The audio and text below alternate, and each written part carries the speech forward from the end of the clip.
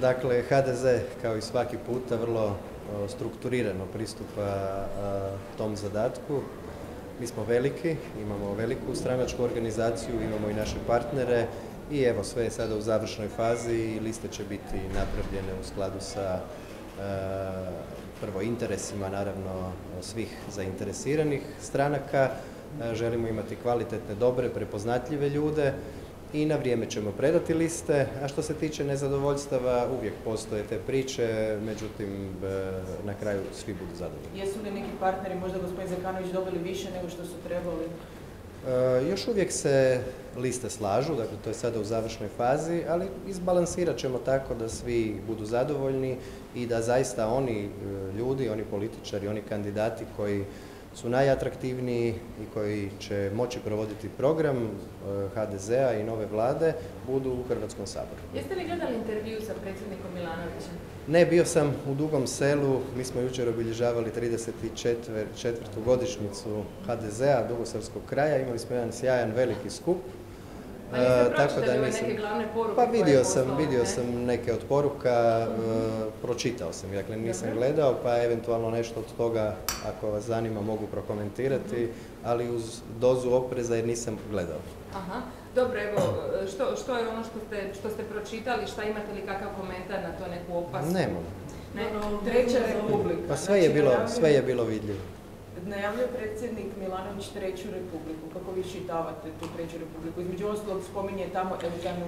Dakle, prvo, prvo, prvo ovako. Uh, Ustavni sud je rekao da uh, predsjednik republike ne može biti kandidat za premijera, tako da ja ne želim ništa od toga što on uh, predstavlja kao svoj premijerski program komentirati jer bi na taj način i ja išao kontra odluke Ustavnog suda. Dakle, e, smatram da svi moramo se držati zakona, da moramo poštovati odluke nadležnih institucija i iz tog razloga neću komentirati ništa od toga što je govorio vezano za svoju zamišljenu e, premijersku kandidaturu. On je rekao također da neće dati mandat nikome ko nema 76 čisto. Kako bi A to je uvijek bilo tako. Dakle, moraš dokazati da imaš 76 zastupnika i zastupnica koji te podržavaju, tako da ne mislim da je to bilo što novo. Očekuje se od predsjednika Republike da da mandat onima koji dokažu da imaju većinsku potporu u Hrvatskom saboru. Ali 76 da neće dati relativnom pobjedniku, da će čekati koliko god treba 76 ruku, čak i ako to znači ponovno. Ali uvijek vam je tako bilo. 76 potpisa je dokaz da imate parlamentarnu većinu. Ali kad je e, trenutak za presjeć? To smo i 2016. 15. imali istu situaciju. Kad je predsjednica Grabra Kitarović bila spremna uvesti svoju vladu. Pa bit će to riješeno bez problema. HDZ će imati sigurno 76 s partnerima e, potpisa, tako da nitko ne mora biti zabrinut. Hoće li olakšat ćemo, olakšat ćemo predsjedniku Republike to da da mandat e, kandidatu za premijera. Hoće li on moći nekako normalno, nepristrano, nekako u fair e, obaviti te konzultacije kad u tom trenutku e, kad trebaju, znači, e, kad, kad treba se odnijeti predsjedniku na uvid dati tih 76... Pitate me nešto što je svima jasno. Dakle, predsjednik je u ovim izborima, odnosno pripremama za ove izbore, u predkampanji, pokazao da nije predsjednik svih građana i priklonio se jednoj političkoj opciji. To je suprotno onome što predviđa Hrvatski ustav i hrvatski zakoni. Dakle, već sada se radi o pristranosti. Tako da sva ta pitanja koja mi postavljate i vi sami znadete koji je odgovor na njih. Jer su toliko vidljiva, toliko je to očito.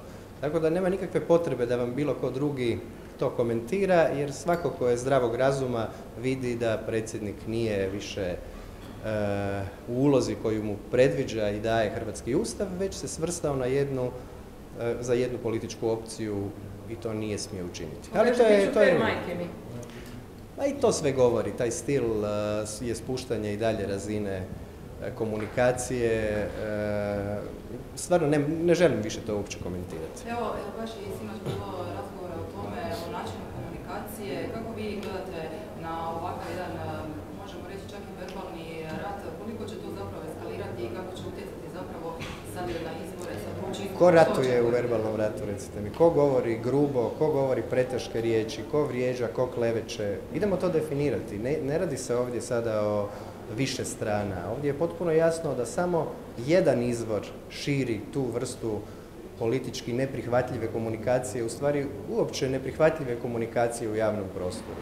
Dakle, to nije nikakav rat. E, on u ovom trenutku nije naš politički e, protivnik na izborima, jer ne može biti sudionik izbora, a sve ovo što izgovara je ispod razine onoga što bi trebalo biti izgovarano u javnom prostoru.